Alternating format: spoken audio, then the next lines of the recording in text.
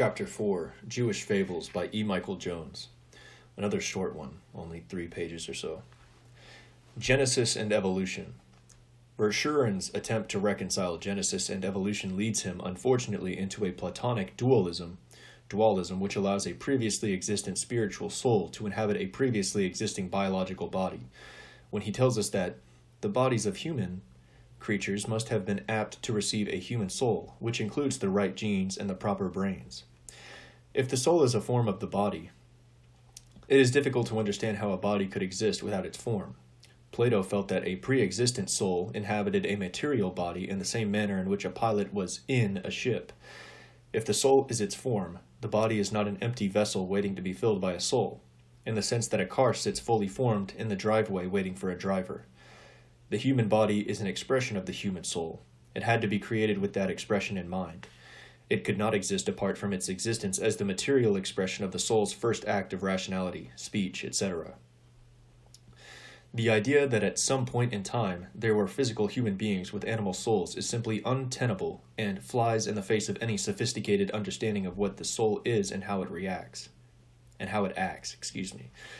The first man's body, therefore, had to be a special act of creation every bit as much as the creation of the first man's soul was because, according to Aristotle's more sophisticated understanding of their relationship, neither soul nor body can exist independently of the other.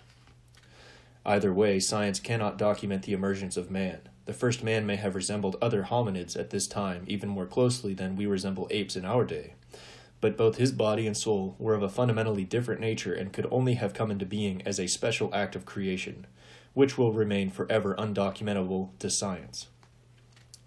Pope John Paul II claimed that the more of passage into the spiritual realm is not something that can be observed with research in the fields of physics and chemistry. His immediate successor made that moment even less accessible to science by identifying it with the first word of human speech. Like St. John the, the Evangelist, Pope Benedict XVI believes that the beginning of mankind was identical with man's utterance of the first word. Quote, the clay became man at the moment in which a being for the first time was capable of forming, however dimly, the thought of God. The first thou that, however stammeringly, was said by human lips to God marks the moment in which the Spirit arose in the world. Here, the Rubicon of anthropogenesis was crossed. For it is not the use of weapons or fire, not new methods of cruelty or of useful activity that constitute man, but rather his ability to be immediately in relation to God. This holds fast to the doctrine of the special creation of man. Herein lies the reason why the moment of anthropogenesis cannot possibly be determined by paleontology.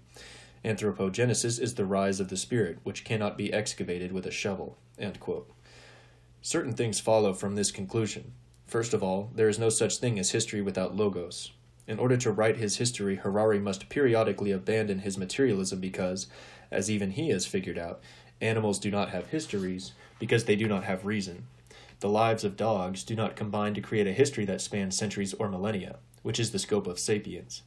The lives of dogs do nothing more than recapitulate each other in the opposite direction until they finally collapse into one life which recapitulates the life of the species.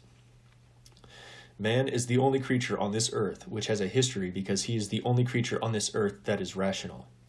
Rationality allows man to discern patterns in the changing flux of temporal events. It also allows him to discuss these patterns with other men and eventually to write them down so that future generations of rational creatures can discuss them as well. There can be, therefore, no history without rationality. To get around the contradictory and equivocal nature of his understanding of language, Harari creates the idea of fictions, which involve the ability to transmit information about things that do not exist at all.